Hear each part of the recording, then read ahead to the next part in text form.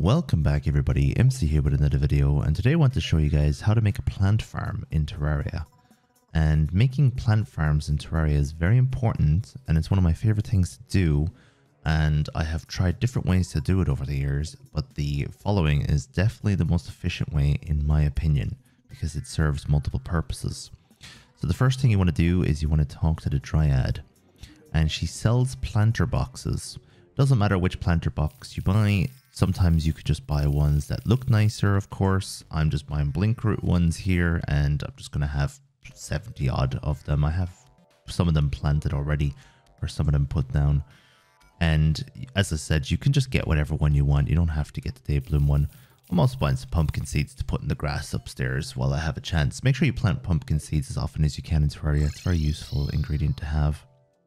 So what I recommend you do is you go to your sky bridge. Now, if you don't have a sky bridge, you don't have to put these on your sky bridge or uh, in the sky, but I recommend putting them up high.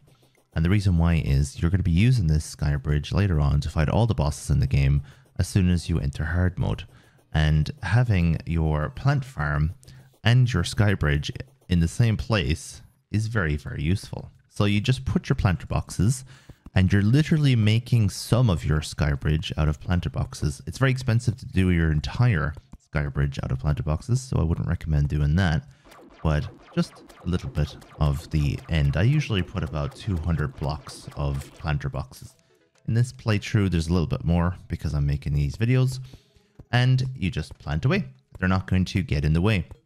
And the reason why you want to do this on your skybridge is because planter boxes act the exact same way as platforms which means you can jump underneath them and you can shoot underneath them. They don't block projectiles and it gives you a lot of movement.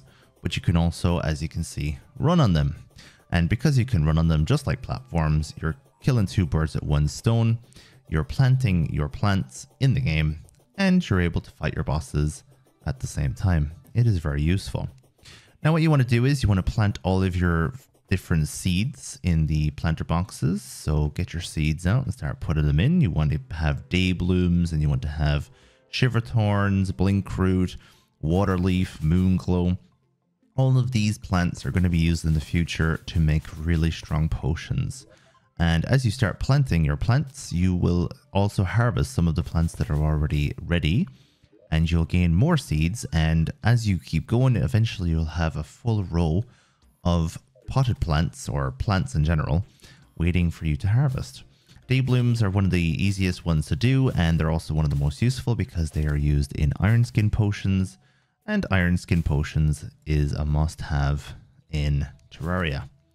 And as you can see here, I'm just harvesting it with my pickaxe, and then I get some more seeds, and I'm going to plant them as well. Press Control so that you automatically plant them, so you don't actually have to aim. So you can use the smart cursor for that. And some of these plants, as you might notice, also produce bait for fishing. So you get even more bang for your buck here. It's so useful to use planter boxes and use them on a sky bridge. As I said, if you don't want to be putting them up too high in a sky bridge, you can always put them next to your base. So iron skin potions, Daybloom, and iron. And obviously you need bottles of water as well. So you always want to make sure you have as many iron skin potions as possible on you at all times. That's a must have. And then of course you can make other potions in the game as well with all the different ingredients. Some of them some of the ingredients or some of the potions are endgame potions that completely change your character.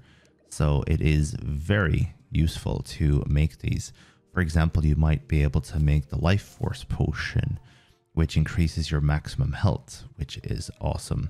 Swiftness potions and Torrents potions, those aren't late game, but they're still very useful. Mana regeneration potions, you can get summoner potions, battle potions, spelunker potions, so much you can do with all these ingredients.